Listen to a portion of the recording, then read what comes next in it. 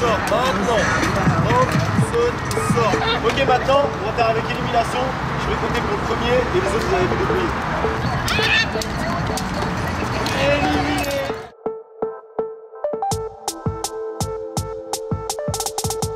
Alors regarde, quand je... toujours reprendre son croquis, parce que l'idée de faire un croquis, c'est quand même d'avoir une base. Il va être un petit peu déformé, mais c'est un robot, donc c'est pas très grave. Celui-là comme ça, et celui-ci avec celui-là.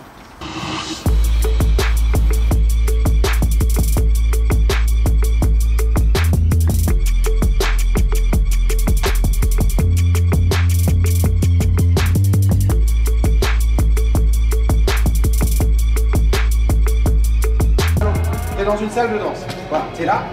Adopte l'attitude tout de suite.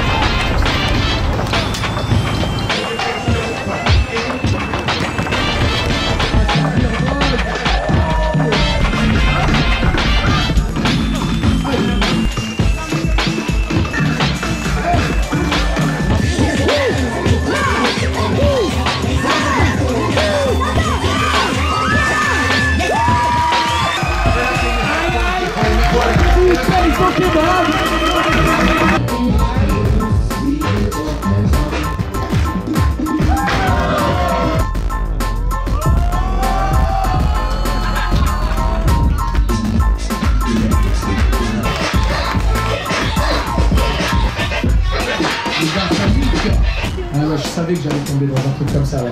Toujours. Euh, et donc, il faut des passages supplémentaires.